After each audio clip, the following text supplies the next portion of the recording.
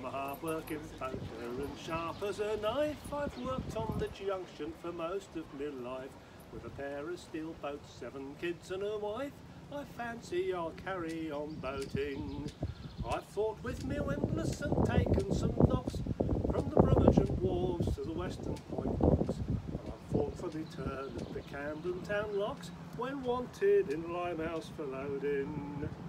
Myself and the missus have nearly been drowned when working by night on the 15 mile pound with a big load of spelter for Birmingham bound and the weather has been pretty bloody. I've been down to London with a load of DS, 55 tons out to Griffarm no less. And I've been down to Wellingborough, two boats abreast when the river's been coming down floody. You can talk of your rail and your old highway code, but there's not like a pair with a 50 ton load. When your butty swims well and you've got a good road right over the Cowroast to Leighton.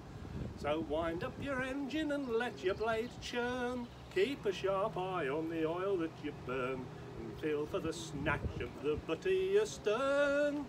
And don't keep the company waiting. You're saying dragonfly.